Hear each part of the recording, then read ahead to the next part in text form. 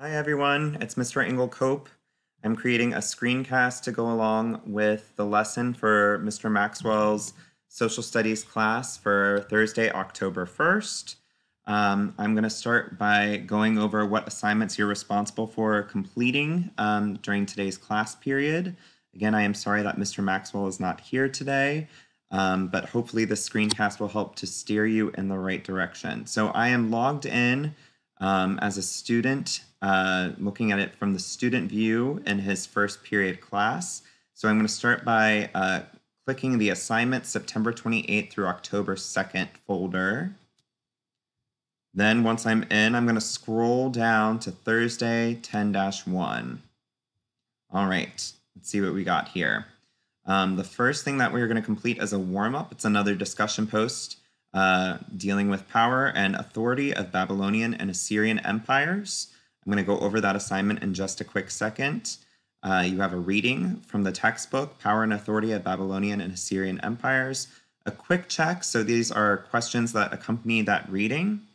And then you have kind of an exit slip discussion post as well. So let's start by going over the warm up first. The warm-up says directions. Read the source text below and review the image. Then respond to the question in the discussion post below.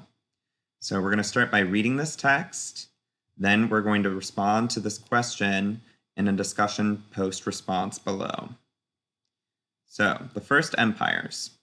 As the independent city-states of Sumer grew in size, power, and wealth, they became rivals.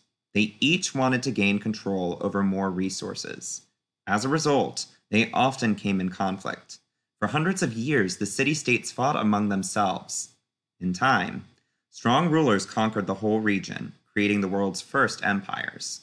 An empire is a state containing several countries or territories. The Babylonian Empire was ruled from the city of Babylon, in the image below, which was originally a city state. All right, if you need to reread that, now is a good time to pause the video and read that aloud to yourself. Um, but after you have finished rereading it, please respond to this question below in a discussion post. The question says, what might be necessary to gain and maintain control over a large territory in ancient world? Again, what might be necessary to gain and maintain control over a large territory in ancient world?